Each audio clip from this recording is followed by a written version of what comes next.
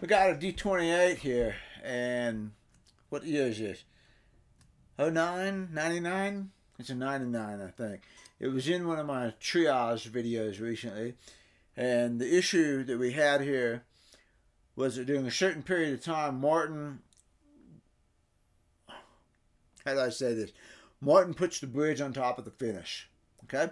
So when they put the bridge on right here, they finish the entire guitar then they cut a hole, not a hole, they scrape the finish away in a spot that is smaller than the footprint of the guitar.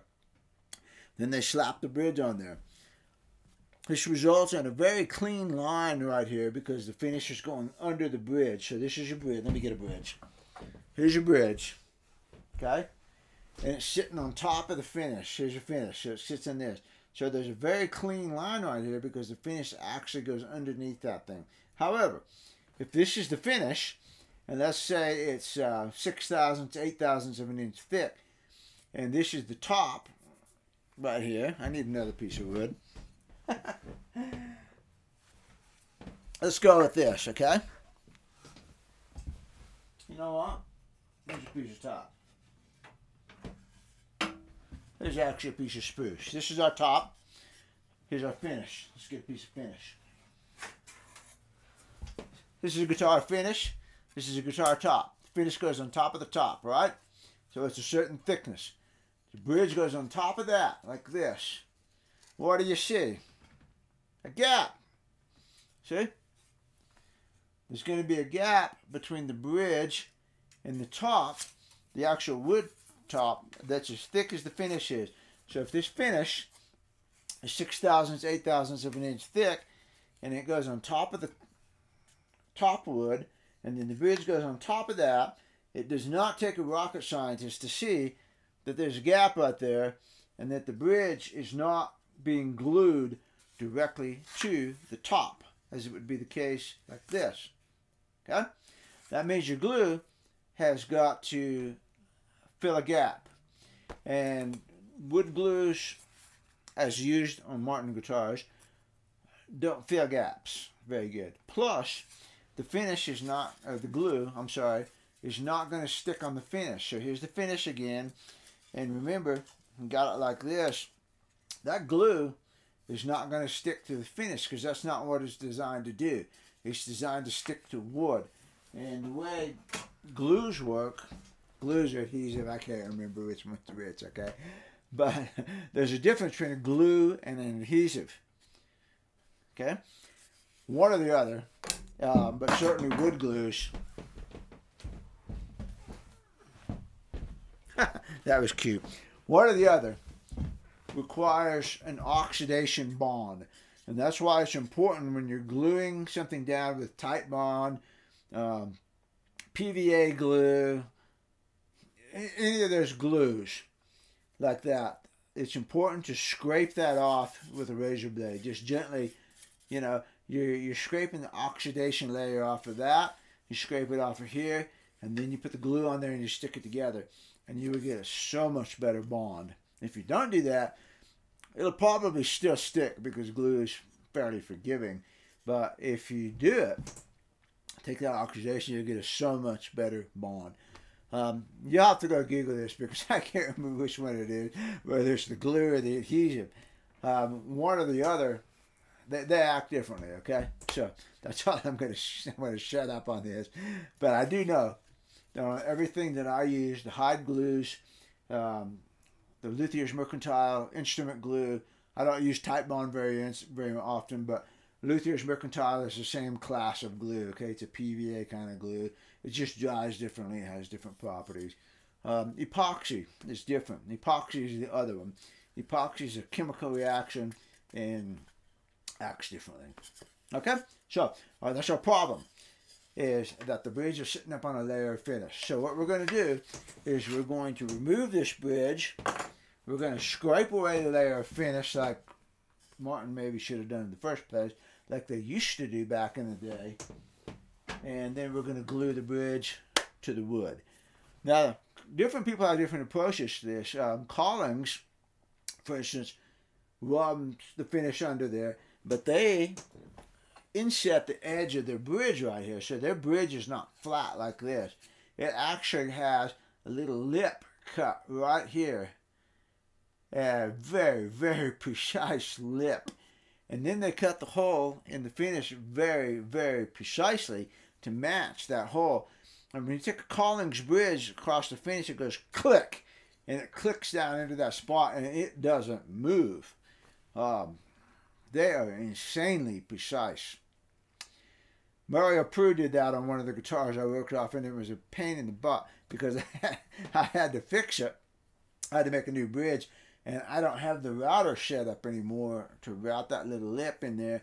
So I had to do it by hand with a razor blade, you know, and scrape it, and not as precise as it would have been from the get go. When you do this in a manufacturing situation, you've got a little router thing set up or CNC machine, and it cuts a precise, repeatable lip around that thing. So it's kind of a pain in the butt. Um, you know, they're, they're cool. I mean, it's a cool piece of engineering and everything, but they're, they're, I don't like repairing them. When I do a Collings bridge, I, um, I call up Collings and I ask them for a bridge. Um, they, they're great about getting me a bridge, you know. So, God bless them. Um, that's why I have a picture of Bill Collings up here, you know, on my bench. So, that's what we're going to do this Martin. Now, it's going to be a little tricky for me to film because I have to use my main bench right here. Um, there's no place for a camera on it. So I'm going to have to kind of work a little bit, and then I'm going to show you the work, and then we're going to go on. So the first thing I did on this bridge was get my awl scratch awl, and I scored around the edge of the bridge like this. Put that all up in like this, up in the tip. Get that tip up there, and you score around the bridge and make a score mark, so that when I pull the bridge off, I'm going to see where to take the finish off. Um, and yes, you're going to have a little bit of a line right there where you can see, you know, the glue. It bothers some people, and that's why Martin does it this way because it's faster in their manufacturing, think they're making 100,000 guitars a year. Um, it's a lot of guitars. I understand it saves them a lot of time on that. You know, Collings doesn't put out that kind of number. That's their that's their ball game. You know, they're a smaller volume, more precise. Um, that's the niche they've chosen, which is great. You know, um, but I know Martin does that so the consumers look at that and they see that nice flush line, and I don't care. Um, because I understand how bridges and tops work. It doesn't bother me a bit to see a little bit of that glue line going around there because that's what I'm used to on vintage guitars. Um, back in the day, they did it just like this. Put the bridge on, score, take the finish off, and you'd have a little bit of a glue line around there if you look really super close, okay? So, you know, that's the comp one. That's the deal we're going to make here that bridge needs to sit on the wood. And I know it needs to sit on the wood because I showed you this in the triage. Is at the corner here. Um, I got to get thinner feeler gauge. It's not loose, but the corner is not making contact with the top. So the bridge is on, and the bridge isn't even making contact with the top. There's a glue layer in between there. And you're not getting the best sound you can get out of this guitar. The owner wants the best sound he can get out of it. I'm going to get in the best sound. Here's 003 feeler gauge and, and it pokes in there quite a bit. See that? And again, that's it. I mean, it stops. The bridge isn't loose, but that's how much finish there is around this thing. And you can see that. I mean, it's going in. Look at the curve on the feeler gauge there. It's going in clear to that curve. That curve is gone. So we've got at least that much finish. All right. So I'm going to take the bridge off, and then I'm going to show you a picture of it. Here's how I'm going to take the bridge off, and then I'm going to cut while I actually do the work. I've got these shields here. They've been in other videos, lots of videos. They're cardboard covered with aluminum foil. They fit pretty precisely over the bridge. Then I've got the secondary shields, which go up here so that I can further insulate the top. And I'm going to do that. Double shields on it. I've got my little chain here that I stole from a kid's nursery one time. They didn't let me back in after that, but you know, I got my chain, okay? heat lamp. This is nothing but a poultry breeder lamp. It's been in lots of my videos. That's a 250 watt deal. And yeah, I have electric blankets and I have all that kind of thing. Uh, I don't like them because they take so much more setup and then you got to have the box and they just really don't distribute the heat as evenly as this heat lamp does. Heat lamp goes through all the little crevices and curves and gets it pretty good. I'm going to crank it up, turn it on. And I'm going to take the bridge off. I have another video of me taking bridges off, so I'm not going to show us that. But basically, I heat this like this for a while. you know, a couple minutes, five minutes, whatever it takes. I'm going to sit here and I'm going to watch it. It's going to smoke a little bit when it gets hot. Um, in a couple of minutes, I'm going to take the shields off and I'm going to take a look at the top, make sure it's not getting too hot.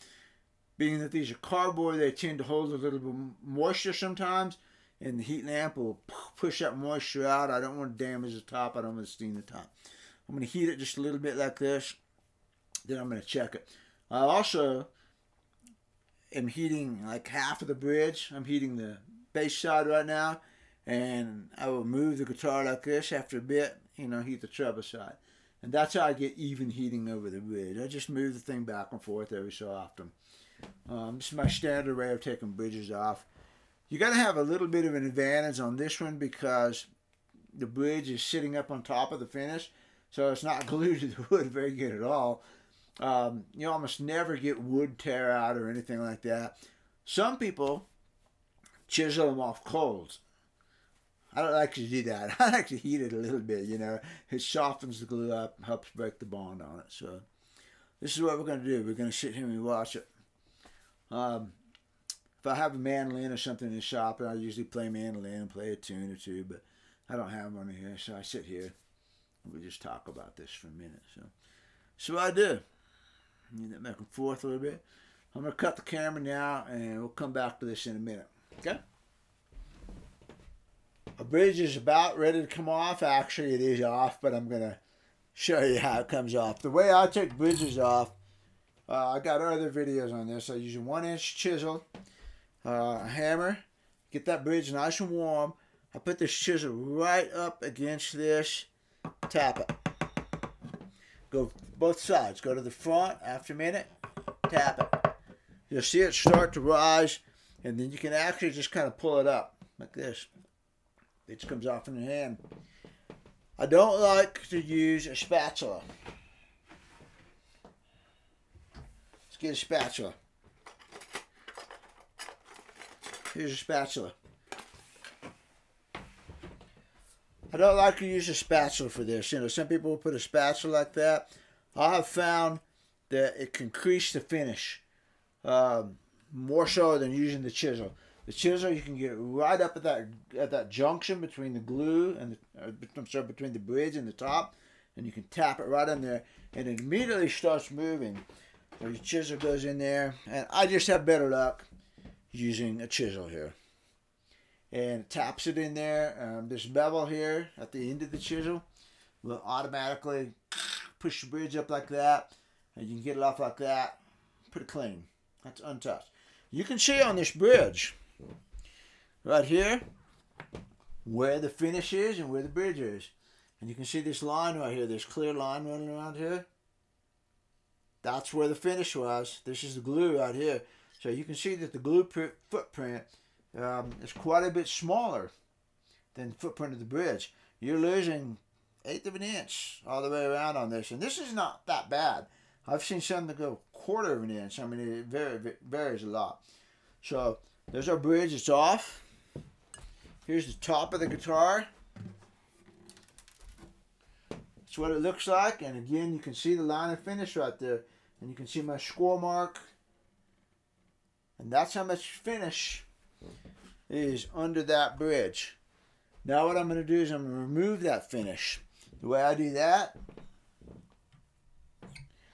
I got this chisel. And I like this chisel, for one thing, because I sanded the wood off so it's flush like this. But this particular one model of chisel has a very steep angle right here. And I just find that that's really good for getting in there. And what I do is just scrape the finish off. I've used a lot of different techniques. I've used razor blades and I've tried sanding. I've tried a lot of different ways and this just is the one that usually works the best for me.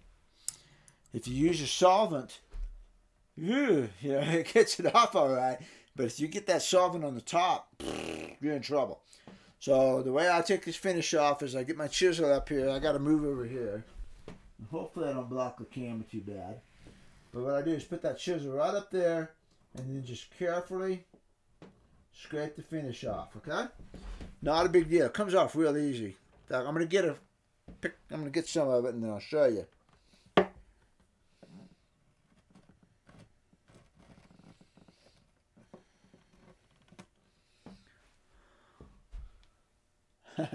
There's a lot of finish right there. All right. So this is a slow, tedious part of the deal. I'm not going to show this too much on the camera. Let me move the camera and see if I can get just a little bit better angle on this.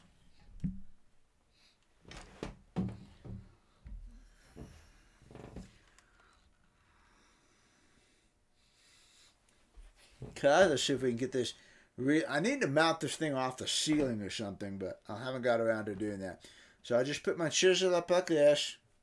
My fingers in the way, of course. Yeah, we can't quite get this. Let's see if I can get it up here on this side. Like that. There you go. You can see it. And get that chisel right up under that finish and gently push it up. And then you can see how it kind of feathers up like that. And then what I do is take it this way come along a different angle and then just scrape it right off. Okay? And it's got these little nubs here, which full of glue. Got to get those off. Once I get all that finish off, what I will then do is take a piece of razor blade like this. This is a broken off razor blade. I put them in the vise and I use this as a scraper because I told you that the glue needs, the wood needs to be scraped, and I just take this, find the wood grain, and scrape.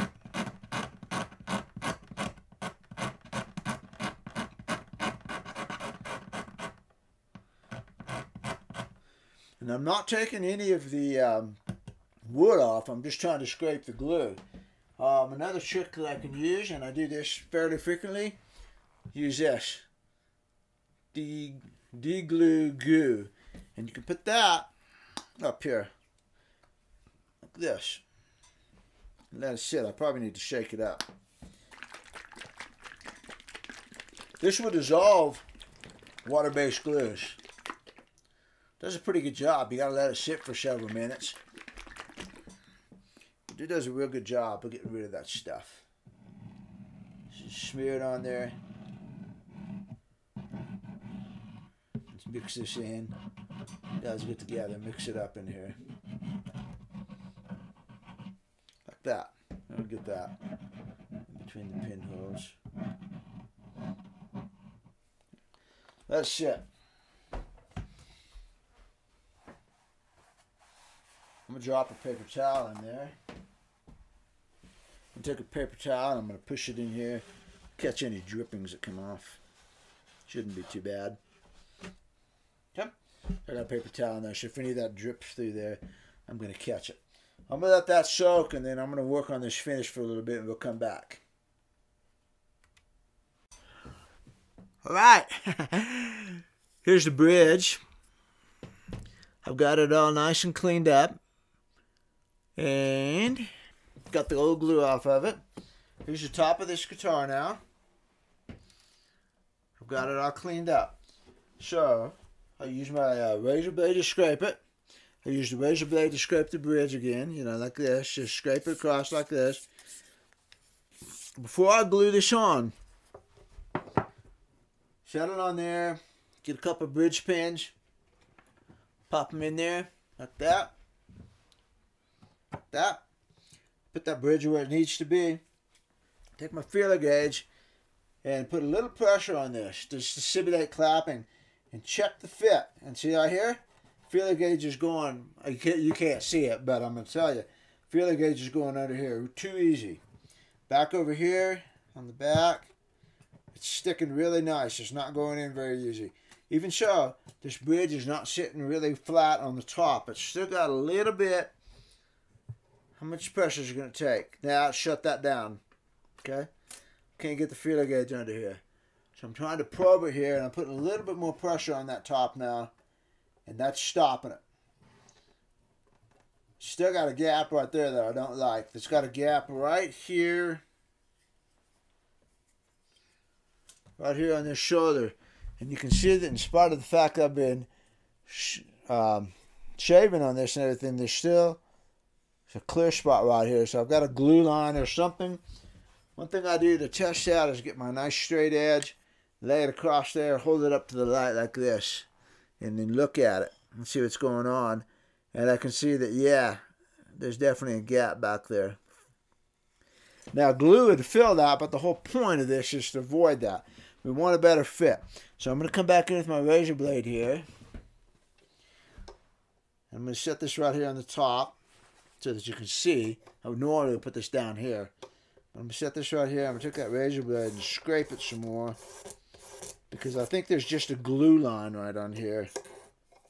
It's causing that. Scrape that up a little bit more.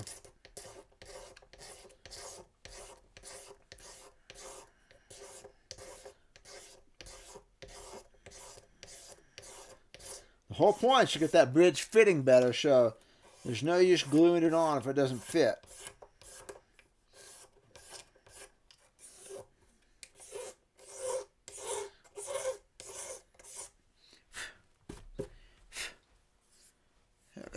I line. Let's see if it's any better now.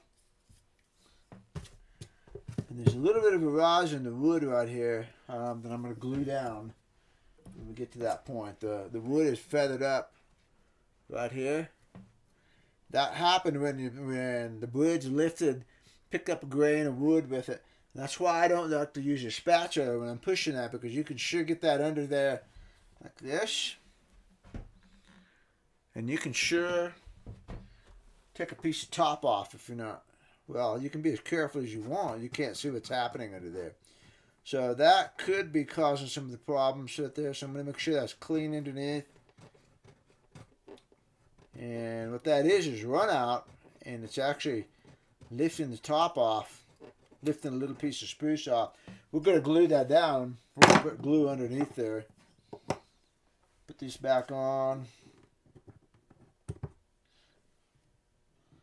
So we will glue that layer down, put some pressure on it, and check for the fit again. That's a lot better.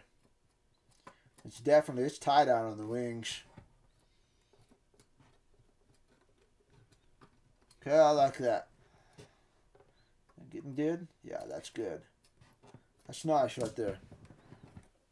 I'm sure, yeah, that's right there. That's caused by that wood coming up. Okay? I might end up scraping that just a little bit. There's your razor. Yeah, there's some finish on top of it. Just a little bit. It's causing it to lift right there. Right there's a little bit of finish I didn't get. Up there. I'm gonna keep my chisel.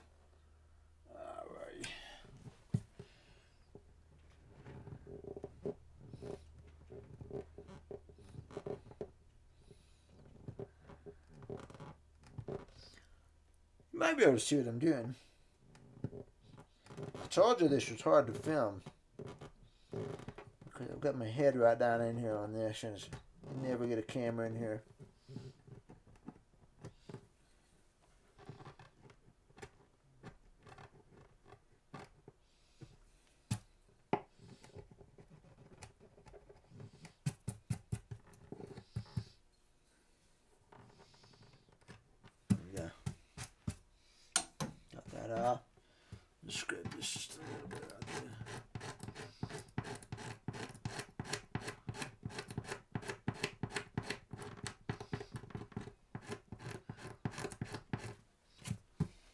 Let's see how that looks.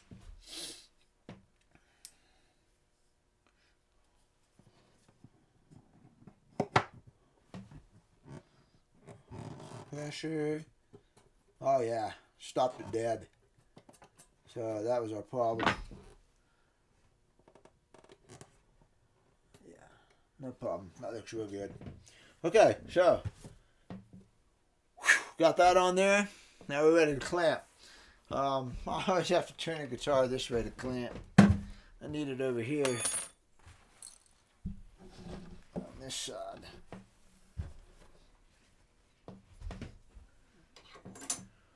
Still on the camera? Not quite.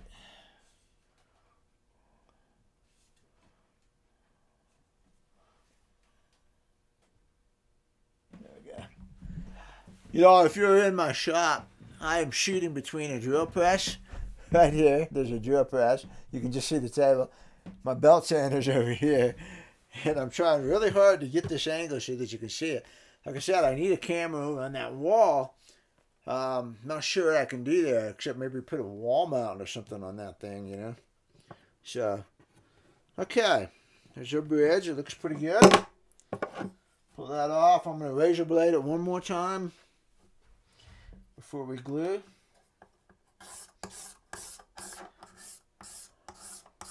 Just barely scraping a little bit right here. This is what it looks like.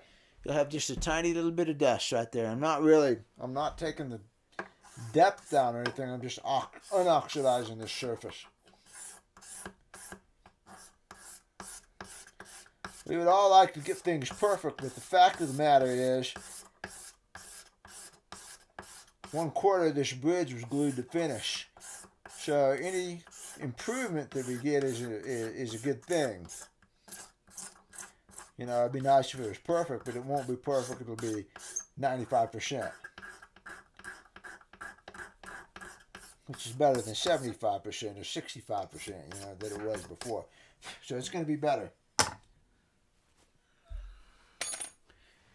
Okay, and I want this razor blade. Just bust it off and I'm going to do my last scraping of this. Again, just get rid of any oxidization.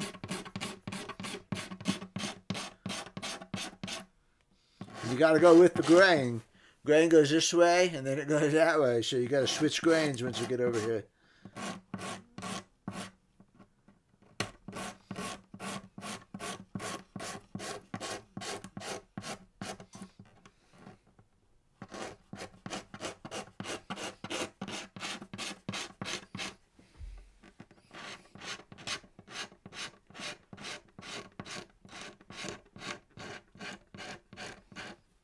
Cross grain, but I'm doing it very, very lightly.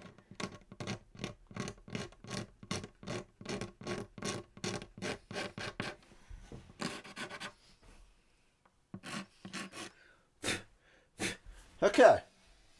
Glue.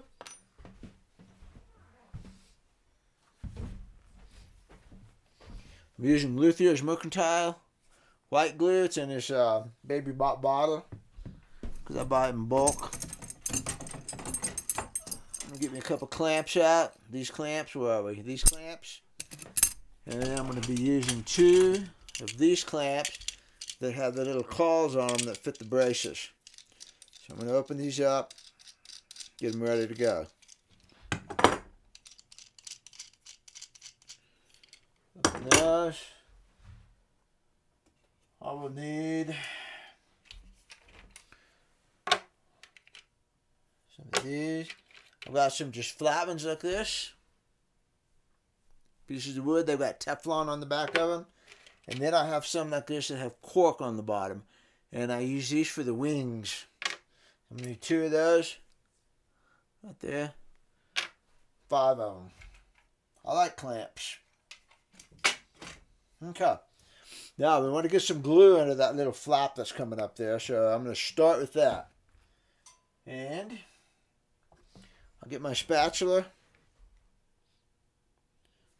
put a little glue on it, and we're going to work that up under that flush flap right there. You could glue it beforehand, but glue doesn't stick to glue. Glue doesn't stick to dried glue very well, so we can just do this in one shot right here. Put a little glue under there, make sure it squeezes out. Looks good. Anybody else needing? No. We're good. Okay, where's my bridge? glue on the bridge. My paper towel's still in there to catch any glue droppings. So we got this glue here. Smear it. Just a thin layer of glue. You don't need much because you don't want another stupid glue layer in there. So this is actually too much right now. I'm going to get it smeared over there. And then I'm going to get my paper towel.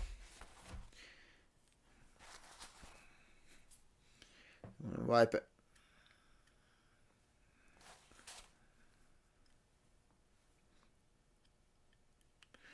Put a thin layer. Sticky.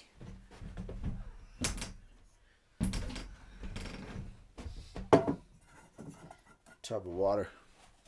Okay. Get my bridge pins. These are markers. Make sure I get it back in the right place. I like to use four of them just to help anchor it. Make sure I got it. Check it visually. Wiggle it around. Check the fit. See, it shifts a little bit because the pins don't fit exactly. But right there, I like that. So I'm going to take this. Put this one down the middle, and that's going to hold it while I mess with the rest of them. Little piece of wood slides in under here.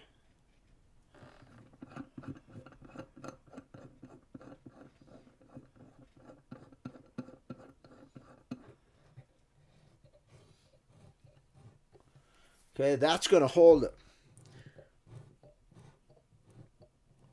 I don't like using the um, the fox clamp that holds down here and then, you know, I like to use clamps. I like to clamp. I don't like to put pressure on the top and rely on that to glue. I know a lot of people do. That's fine. I'm just saying I don't like that. I'm going to use a clamp. This one's going to go on the brace. I felt the catch right there.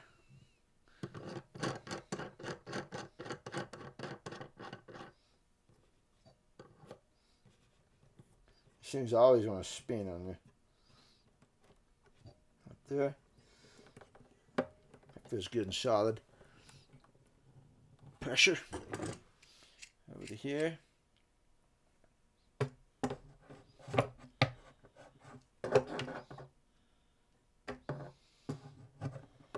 Yeah. Sometimes a mirror inside helps, but i am done this enough times I can get it by feel.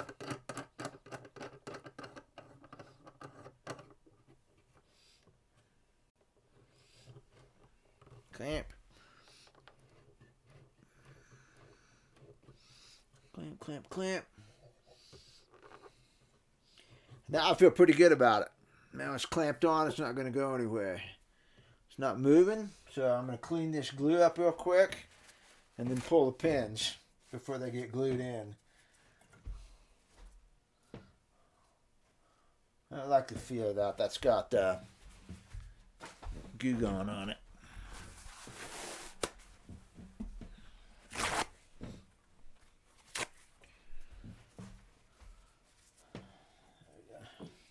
I got some glue squeeze out here and I'm going to get that cleaned up. This is where I use a spatula. Push that around like that. Get right up on that crack.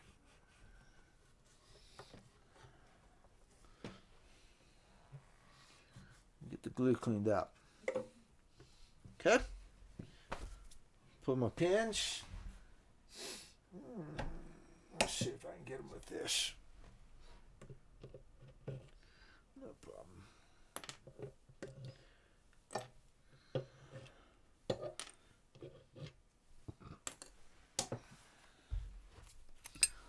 Okay, next two clamps.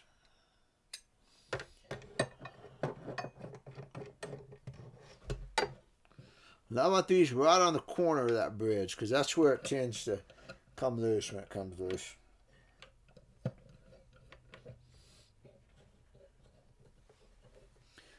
See, I got some squeeze out, which means I'm pushing it down on it. Even after I just cleaned it up, to me, these these two are really important for getting a, a bridge on nice and snug.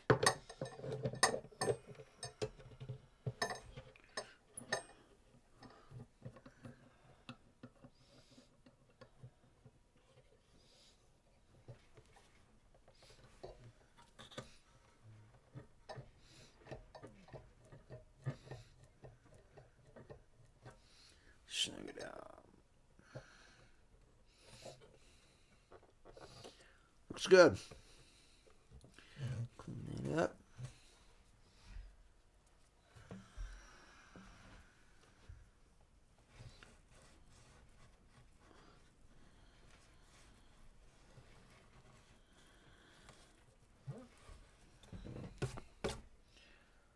And that's how we do it. And now this bridge is now glued to the top. There's no finish in between it. It's got a thin line of glue. You'll pick up a fair amount of better sound here. Like I said in the triage video, uh, my friend David, Dave Scowen, who's the owner of Red Bear Guitar Picks, had a D18GE that we did some trading on and it had all of my modifications except this one. And after he had it for several years, meaning he had played it for quite a while, um, the bridge started lifting. So he had a local guy do this job, operation, and he reported back to me that it sounded significantly better. Dave's got good ears. I trust him on that. More than I trust me. Clean that up. And I'll clean it up again later when it's done. And there we go. That's how that works. Now, you could take this and you could come back here and you could probe a little bit more. It's nice and tight. That's good. I'm very happy with that. I like that. It's not going in. It's snug. Make sure we got enough pressure on these. I clamp pretty hard. Okay, we're good. That glue needs to dry for several hours. I pretty much just leave it overnight. Let's back up on the video. Oh, you can see my tools coming into play here. That's hard to video. You know, I'm sorry if you can't see everything. Um, you got to kind of go, we can go with the concept of it. I showed you the top. I showed you the problem. Um, this stuff is not always a cookbook process. It's it's you got to understand the concept. You got to understand what you're trying to solve here, and, then you go for it and you fix it. So, um, it's hard to videotape that uh, by yourself trying to do the job at the same time. So I did the best I could. Okay, that's the process of it. That's why we're doing it because there's finish underneath there. There's a problem. Uh, you just take the bridge off to clean the finish off to glue it back up. So you know that's all there is to it. But you got to see some of the process, some of the you know, little things here and there. Make sure you scrape the finish off.